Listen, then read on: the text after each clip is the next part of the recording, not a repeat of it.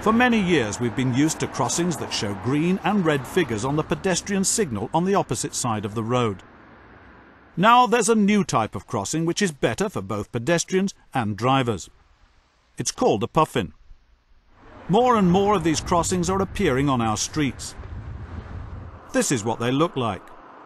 The green and red figures are included in the pedestrian control box on the pole at your side of the road and there are no lights for you to watch on the opposite side of the road. Now watch closely as we show you how to use them.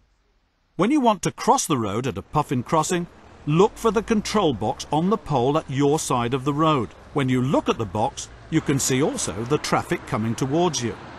Do not cross when the red figure, that's the one at the top, is showing. To stop the traffic, press the button. Look how it lights up. Now wait until the green figure at the bottom lights up and the traffic has stopped in both directions. It's now safe to cross. The traffic lights will stay red for drivers until you've reached the other side of the road. Just watch again. Stop when the red figure is showing. Press the button. Wait until the green figure shows and the traffic has stopped, and then you can safely cross the road. Sometimes you might arrive at a crossing which has the green figure showing and other people are crossing the road. If so, you can also cross, even if you're on the opposite side of the road, but first check that the traffic is still stationary. After the green signal for pedestrians ends, the traffic is stopped by a red traffic light until all pedestrians cross the road and get to the other side. Do not worry that you cannot see a signal. The crossing equipment will not allow drivers to be given a green signal until the crossing is clear. This is very helpful for people who walk more slowly, such as young children and those people who have walking difficulties. When pedestrians do cross quickly, a long delay is not needed and traffic is allowed to move as soon as the crossing is clear. This means traffic can start again as soon as everyone has crossed. Sometimes people press the button and then cross the road in gaps in the traffic before the signal changes. At puffin crossings, when this happens, the pedestrian request is cancelled. This also means traffic is not held up when no one is using the crossing. However, as long as someone is waiting, the request to cross will not cancel. These crossings have detectors so that they can tell when there are people waiting to cross, but you must still press the button.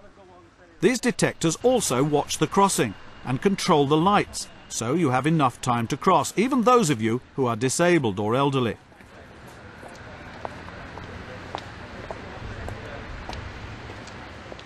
Underneath the control box, there is a cone-shaped device, which goes round when it's safe to cross the road. Good girl. There's the box. Come on, where is it? By holding this, those who cannot see will know when the green figure is lit up and the traffic has stopped. A bleeper sound is sometimes used at traffic signal crossings when the green figure shows. This helps blind people to know when to cross. The bleeping sound is not used if it could be confusing to pedestrians crossing the road. For example, if two crossings are very close together, it could be difficult for some people to tell which one is bleeping. People who cannot see very well find puffins helpful because the red and green figures are nearer and easier to see.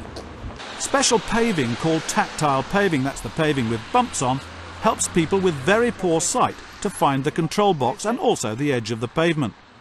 Some puffin crossings have two sets of control boxes, one higher than the other.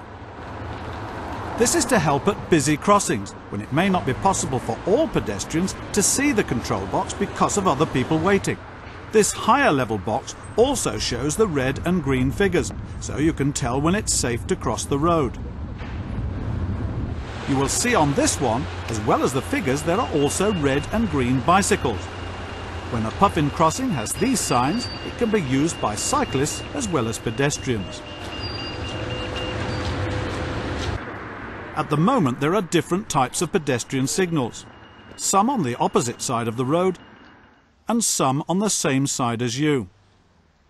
One day most crossings will be puffins, and this will be much better for pedestrians because there will only be a red figure or a green figure and they will be on the same side as you. It will also be simpler for drivers because traffic will be held on a red traffic light while pedestrians cross, removing confusion caused by the flashing amber signal at pelican crossings.